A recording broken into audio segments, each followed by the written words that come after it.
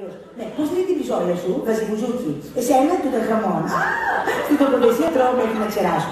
Όλες οι φράσεις είναι γεμάτες φαγητό. Είναι το γλυκάκι, να το πιεις στο ποτήρι, θύμωσες ξύδι, αχ, να σε φάω. Να... Όλα έχουν να κάνουν με τη γεύση. Και παροιμίες. Παροιμίες, παροιμίες. Πολλές παροιμίες σχετικές με το φαγητό. Πείτε μου μερικές.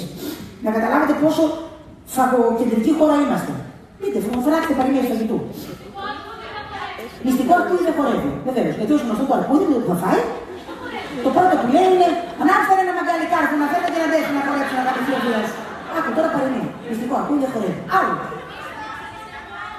Μη φας να φάμε γλάνο. Τι είναι αυτό; Πραγματικά τα ναρκωτικά του, του λαϊκού μου είναι χωρίς προηγούμενο. Φάμε γλάνο.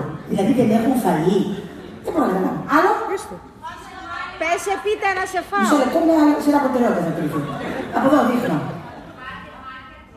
Φάτε μάτια ψάρια και κοιλιά περιδρομό. Δεν καταλαβαίνω να πούτσο.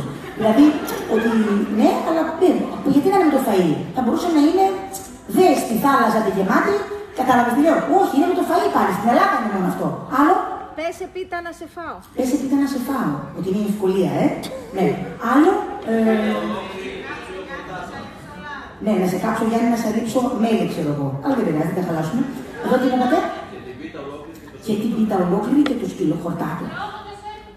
Πολύ ωραίο. Αυτό είναι ύμνος στην ονομαθητική. Δεν θες να φας, ναι.